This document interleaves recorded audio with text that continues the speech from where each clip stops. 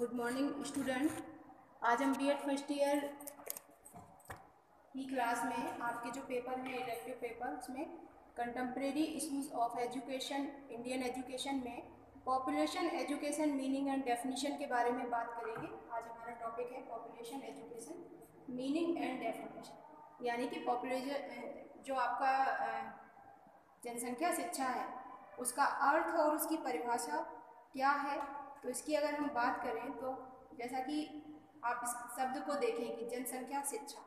अगर सिर्फ़ जनसंख्या की बात करें तो जनसंख्या का अर्थ अगर आप देखें तो जन मतलब लोग और संख्या मीन्स काउंटिंग तो लोगों का क्या करना?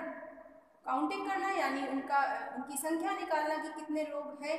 तो इस तरह आप इसके सामान्य अर्थ को समझ सकते हैं। लेकिन जब हम एक एजुकेशन के बेस पर इसको समझने की बात करते हैं। यानी अपने प्रकरण को शिक्षा से जोड़ते हुए हम इसे समझते हैं। तो कहीं ना कहीं आप इसके अभिप्राय को समझेंगे कि जनसंख्या का जो तात्पर्य है, वो कहीं ना कहीं परिवार, समाज, देश तथा संसार में जनसंख्या की स्थिति का अध्ययन करना है। जनसंख्या शिक्षा की अवधारणा का उदय की हम बात करें तो अनेक देशों में जनसंख्या विस्फोट के कारण इसका उदय हुआ। क्योंकि अधिक जनसंख्या बढ़ने से ही इसकी ओर लोगों का ध्यान गया और ये एक समस्या के रूप में हमारे समझ उभरी। तो जनसंख्या शिक्षा ना तो परिवार नियोजन है और ना ही यौन शिक्षा। किंतु इन दोनों से संबंधित बातों का समावेश जनसंख्या शिक्षा में किया जाता है। जनसंख्या शिक्षा परिवार को छोटा या बड़ा रखने की शिक्षा देने वाली शिक्षा भी नहीं कही जा सकती है कि हम यहाँ पर ऐसी बात करें कि हमें अपने परिवार को छोटा रखना है, बड़ा रखना है। रूप से अगर आप बात करें तो जनसंख्या शिक्षा का संबंध सामाजिक, आर्थिक और सांस्कृतिक उत्थान से है, जिसमें जनसंख्या नीतियाँ और राष्ट्रीय कार्यक्रम जितने भी बनाए जाते हैं या विकास कार्यक्रम से संबंधित होने चाहिए। आप इन सब बातों से देख सकते हैं कि जनसंख्या शिक्षा जो है वो कहीं ना कहीं जीवन स्तर को उच्च बनाने और सुखी जीवन की संभावनाओं में वृद्धि करने वाली शिक्षा है। इसलिए हम इसके अर्थ को और अधिक तब स्पष्ट कर सकते हैं जब हम से कुछ नए बिंदुओं पर बात करें। तो बात करते हैं हम जनसंख्या शिक्षा एक शैक्षिक कार्यक्रम है, जिसमें जनसंख्या के आकार में होने वाले परिवर्तन के फलस्वरूप व्यक्तिगत तथा सामाजिक प्रभावों के संबंध में जानकारी प्राप्त होती है।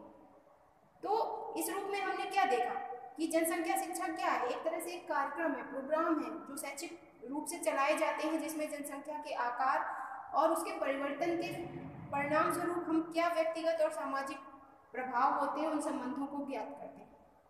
इसी क्रम में आगे बढ़ते हुए हम कुछ डेफिनेशन देखते हैं, जो व्यक्तिगत लोगों ने अपने विचारों के द्वारा हमारे समक्ष प्रस्तुत की हैं। पहली डेफिनेशन यहाँ पर है आपका यूनेस्को के अनुसार। तो यूनेस्को ने जनसंख्या शिक्षा को किन, किस रूप में देखा है? उसने बताया कि जो जनसंख्या शिक्षा है, वह एक शैक्षिक कार्यक्रम है, जिसमें परिवार, समुदाय, राष्ट्र और विश्व की जनसंख्या की स्थिति का बोध कराया जाता है। यानी कि जिसमें विद्यार्थी में इस स्थिति के प्रति एक तरह से तर्कपूर्ण दृष्टिकोण या उत्तरदायित्वपूर्ण व्यवहार विकसित किया जा सके। इसी क्रम में आगे बढ़ते हुए, प्रोफेसर एस के दुबे के अनुसार इनकी द्वारा कही गई बात को यदि हम देखें तो जनसंख्या शिक्षा केवल जनसंख्या चेतना से संबंधित ही नहीं, वरन इसके प्रति विकसित मूल्यों का दृष्टिकोणों के प्रति भी है। और इसकी गुणात्मकता एवं मात्रात्मकता का ध्यान भी रखा जाए।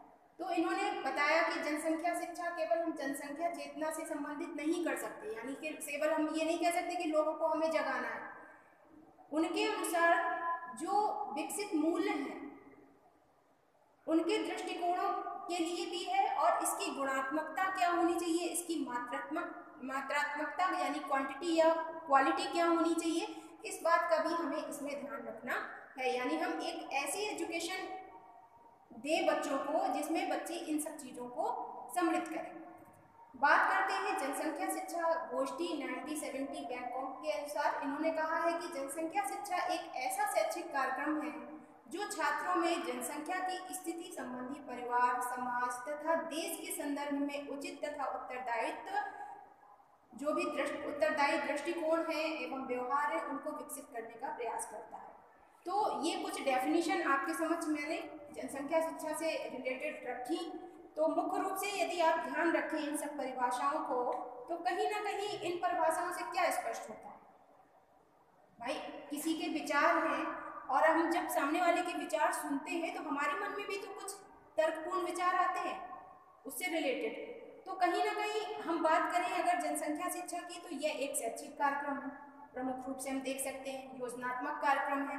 इसका संबंध जनसंख्या के कारण व्यक्तिगत एवं सामाजिक जीवन पर पड़ने वाले प्रभाव से है। तो इस तरह से हम इन डेफिनेशन से अपने विचारों को भी निकाल सकते हैं कि हमारे विचार के अनुसार जनसंख्या शिक्षा क्या होती है। तो ये था आज आपका topic population education meaning and definition इसकी हमने आज बात की।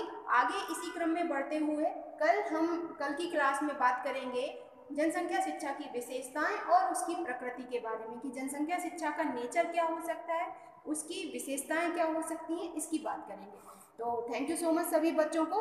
आप सभी बच्चों से ये अनुरोध है कि आप अपनी क्लास को रेगुलर यूट्यूब एच चैनल पर जाकर देखें और अपने विषय से संबंधित जो भी प्रकरण है, उनको कंप्लीट करते चलें नोट्स भी बनाते चलें। ये आपके लिए परीक्षा की दृष्टि से बहुत ही उत्तम होगा।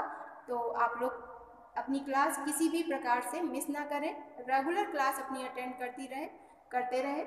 और मैं डेली के वीडियो जो अपलोड करती हूँ आपके YouTube चैनल पे, उसकी जो लिंक है वो मैं ग्रुप पर शेयर कर देती हूँ तो आप वहाँ पर जाकर उस लिंक को क्लिक करके वो वीडियो देख सकते हैं। Thank you so much